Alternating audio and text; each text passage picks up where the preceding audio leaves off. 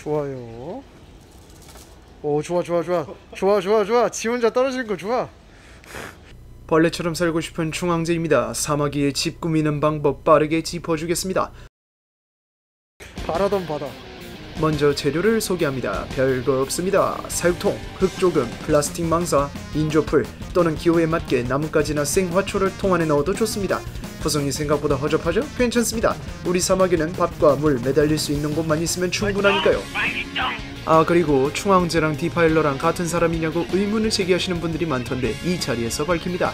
누가 누구인지는 앞으로 손으로 구별하십시오. 제가 충황제 이쪽이 디파일러님이십니다. 이제 집 만드는 건축가가 되어 사마귀의 집을 만들어 봅시다. 첫 번째 글루건을 멋지게 킵니다. 굳이 이렇게 킬 필요는 없습니다. 그냥 간지나게 켜보고 싶었습니다.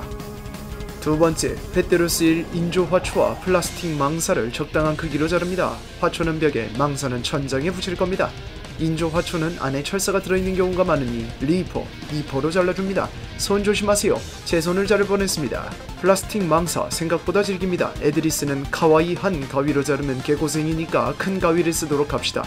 모양이 못생겼으면 칼로 테두리를 다듬어 줍시다.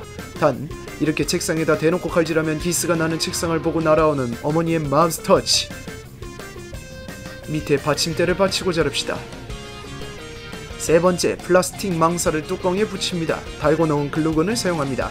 뚜껑에 잘 붙이려면 글루건이 뜨거울 때 저처럼 손가락으로 꾹 눌러주세요. 벌레를 위해 손가락을 희생하세요. 이렇게 지져주면 빠르고 깔끔하게 붙습니다. 이렇게 천장이 완성되었습니다. 네 번째, 인조 화초를 벽에 붙입니다. 방법은 망사 붙일 때는 똑같습니다. 손가락으로 찢으세요. 다섯 번째, 흙을 부어주세요. 많이는 필요 없습니다. 적당히 부어주고 뚜껑을 닫으면 완성. 이제 이 안에다 사마귀를 넣어주면 모든 게 끝났습니다. 번외로 만약 이런 작업이 귀찮다면 이런 압축 양산형 버전도 있으니 어느 것을 쓸지는 당신들의 판단입니다. 자 그럼 이렇게 사마귀 집 만드는 방법을 2분 만에 알아보았습니다. 하지만 여러분들은 굳이 이런 고생을 하지 않아도 됩니다. 사마귀 집은 사서 쓰면 되거든요. 지금까지 벌레 같은 충황제였습니다.